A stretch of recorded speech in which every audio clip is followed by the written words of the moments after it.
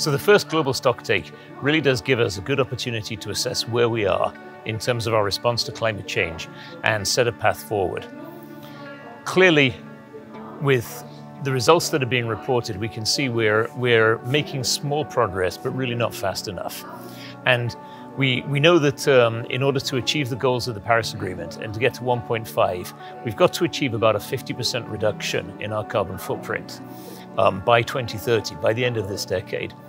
But there are things that we can do using technologies that are ready to deploy now that will get us moving faster. It's great to see the commitment to triple the amount of renewable energy. That's a very positive development. And also the uh, announcements that have been made about addressing methane emissions. And one of the things that we like to emphasize at Honeywell is that there are technologies already proven ready now that actually can address climate change and give a payback. And methane emissions are a great example because you can not only um, reduce the impact on the climate, but because by saving methane, you're actually able to use it as a fuel, you can sell it. So that's one of the best options for, uh, for addressing climate change.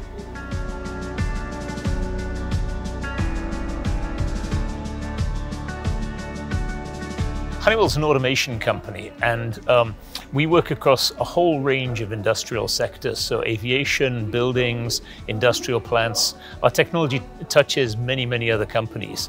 And so we see a lot of opportunities for deploying technology to accelerate the energy transition, um, particularly in things like renewable power, for example. Uh, when you bring more renewables into the mix, you need to have better control, not only of the uh, electric grid, but also actually of the interaction between the supply of electricity and the consumption of electricity.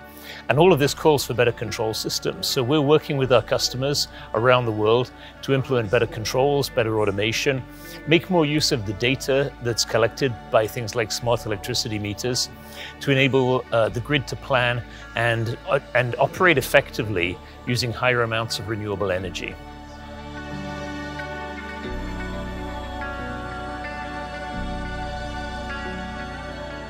Events like the Sustainable Innovation Forum really bring together a lot of different companies. And they're important for a number of reasons. First, because they give policymakers and um, environmental activists and so on more insights into what technologies are available, what solutions are ready to be deployed right now to address the climate crisis. But also, they're a good opportunity for different companies to see what other people are doing, to learn from each other, and to help uh, further more innovations that are going to make all of the technologies that we need for the energy transition and climate change lower cost and easier to implement.